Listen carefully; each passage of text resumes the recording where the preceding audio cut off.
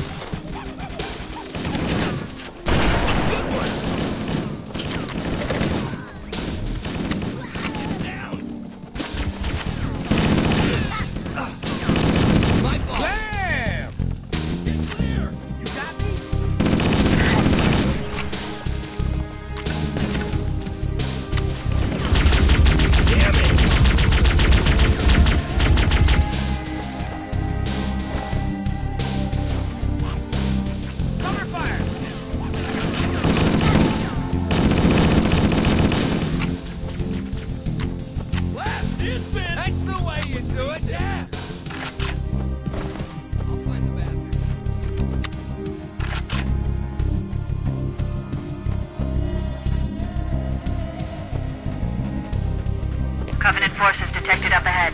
The path up on the left should let us sneak up around them. We'll hang back while you get into position, Chief.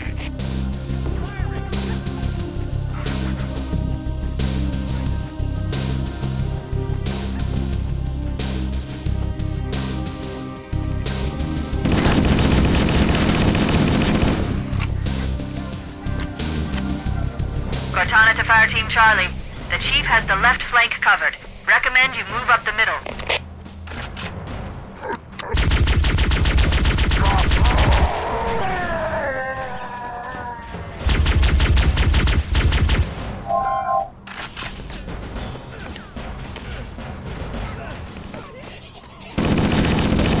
Alert! Covenant dropships are inbound.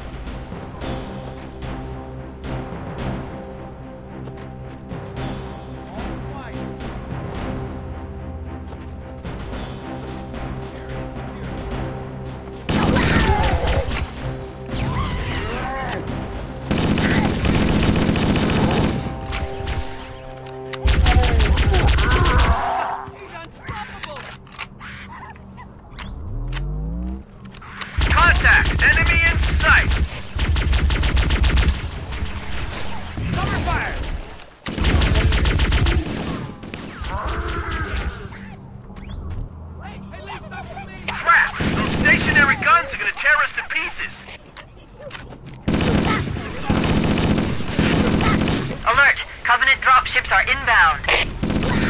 Always something.